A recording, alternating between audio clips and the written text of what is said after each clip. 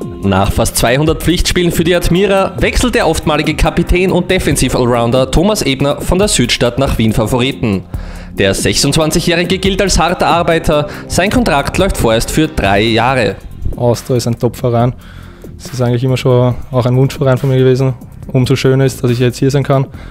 Und ja, wie gesagt, ich freue mich schon am Platz zu stehen und für die Austria zu spielen. Der Thomas ist ein Spieler, der universell einsetzbar ist und äh, äh das brauchen wir. Wir brauchen auch äh, äh den Thomas, weil ich weiß, äh, äh, seine, seine Art und Weise, Fußball zu spielen bzw. Fußball zu leben, ist wichtig für unsere Mannschaft.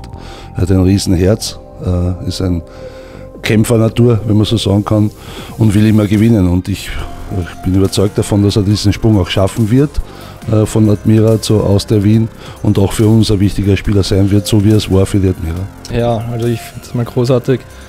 Ähm, ich bin froh, dass ich jetzt da sein kann. Das ist für mich äh, der nächste Schritt. Und ich freue mich schon auf die Spiele, ich freue mich auf den Verein, ich freue mich auf die Fans.